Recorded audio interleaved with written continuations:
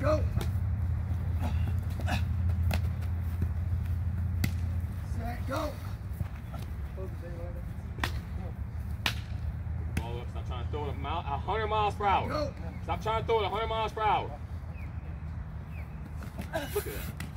You don't got to throw it 100 miles per hour every time, ball. Hey, just, just catch it.